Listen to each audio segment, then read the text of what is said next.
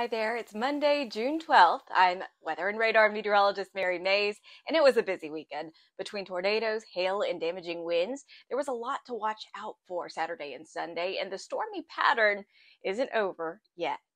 The weather radar shows a low in the Great Lakes with a trailing front that's going to spark off more severe weather today. A weakening low is going to bring showers and storms also to the Intermountain West. Let's talk about who may see severe storms. With the front lingering across the south central parts of the country and the southeast, a fairly large region could see some strong storms today. The risk of severe storms stretches all the way from the front range to the mid Atlantic. Damaging winds and hail are the main threats. Isolated tornadoes are a possibility. While there is a large region where severe weather may occur, we're paying close attention to central Texas. An enhanced risk of severe weather, which is a level three out of five, is in place there. Intense winds, large hail, and a few tornadoes are going to be possible there this afternoon and evening, so heads up.